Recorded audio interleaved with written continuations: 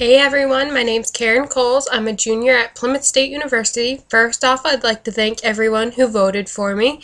I'm sure you all are wondering where I'm going. Well, I'm going to Cape Town, South Africa. I'm excited to experience a new culture and to travel to a country I haven't been to before.